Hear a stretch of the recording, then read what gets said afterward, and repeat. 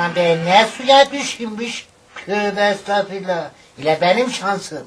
Allah bana öyle bir gelin vermiş ki. Dili üç metre. Gezişi Erzincan depremi. Vay başıma gelenler vay. He. Aman anam. Sabah olur da insan bir erkenden kalkar. Bir işin ucundan tutar yok. Bizim gelir saat 11'de kalkar. Kahvaltı etmeden tıs cigarasını yakar. Gezer oda Silkeler dolanır kız. Her taraf battı anamış. Seni vurucu vurmuyor inşallah. Ben sana ne ettim ana? E daha ne edersen kızım? Bir değilim on değilsen, on değilim bin değilsen. Hış, Daha bıktım usandım anam mı? Ben bu evde saçımı süpürge ettim ana. Torpak başa, süpürgen dar git. Hış, Seni kimmiş alan? Beni kimler istemedi ki? Ne doktorlar, ne mühendisler, ne avukatlar. Ama ben varmadım.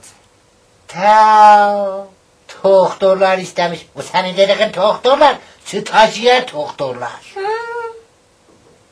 Ben elimi sallasam ellisi. Hı. Torpak başam, ben de elimi sallasam, Ne olur? elimi sallamış olurum. Ha. Hele bunun oturuşuna. Değilsen kaynana o gelin ben. Sen ağa ben ağa. İnekleri kim saka? Kalk kıza oradan çay getir çay. Kalk hadi. Buyur ana.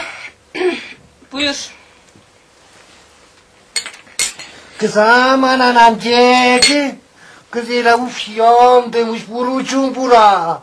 Kız aman anam ile düneyinden kalan ile sıcak çay getirdi de ile ayağıma tüktü ayağıma baş parmağını gördün. Kim döktü? Sen döktün çayı. Sen ben tüktüm. E, tabii sen döktün. Yollah belam vermiyor kız aman gördün yalan.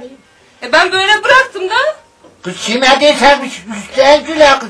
Kendi kendine kim çaydı vurucu vurmuyor seni. Ana. Yandı.